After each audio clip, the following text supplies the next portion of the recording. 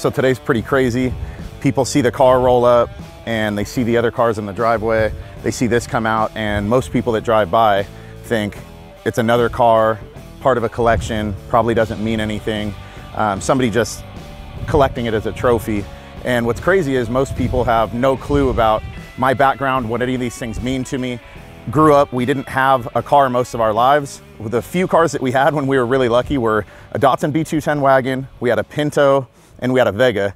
And those things lasted a matter of a few months. And that's when things were really good. Life was good because we at least had a car for a few months. So for that period of time, went through that and then when i got older we didn't have money to buy a car i would use my lunch money to buy auto traders to uh, just look at cars circle cars and pretend that i'd be able to buy these $2000 cars that to me at that time were so amazing that i knew we didn't have $2000 to buy so for someone who was a car fan forever um, and not having those things is it really created a different sense of appreciation people look at it as these things are are trophies or these things are status symbols but to me these are not only artwork but something that I have grown such a great appreciation for over the years that other people might not be able to understand because they didn't have to take the bus everywhere. They didn't have to walk everywhere. They didn't have to bum rides until they were 20 years old.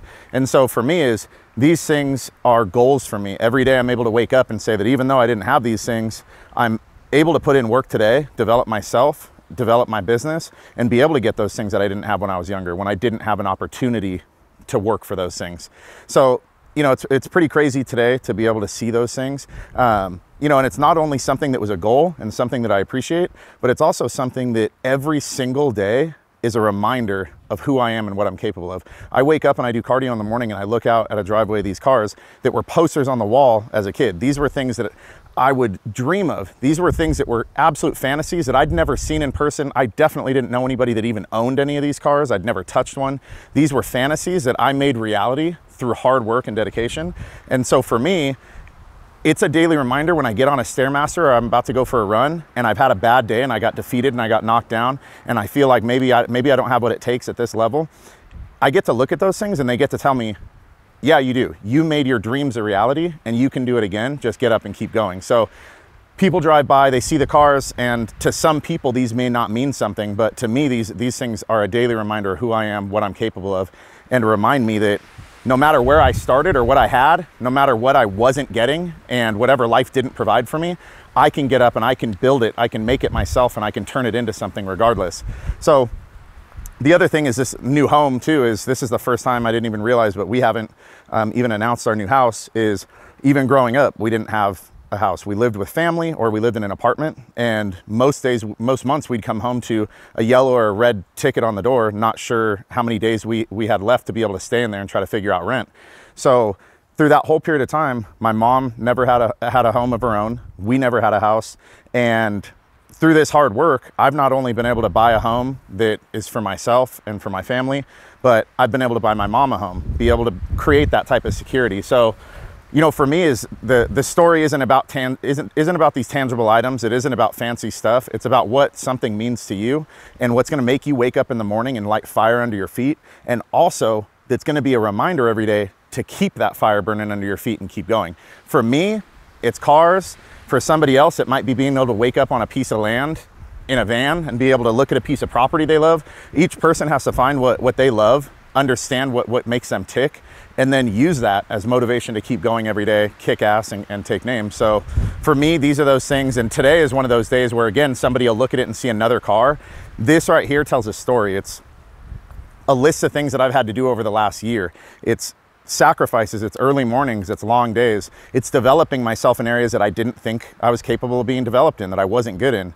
All of those things have to happen for me to reach the next level. And each one of these things shows me that next level that I reached and they remind me of what I'm capable of. So I just feel super blessed today, 35 years old, and feel like coming from where I came from, where in sixth grade I had to wear my mom's shoes to school. You know, we didn't even have money to buy me shoes. They had they were white deck shoes that had holes in the bottom, so I'd have to be careful walking to school because I didn't want to walk through the wet grass because I didn't want to have socks that were wet all day. So going through that to where where I am now as you know I, and after, after that, I dropped out of high school, two-time ex-felon. The list goes on of the mistakes made and a bad track record.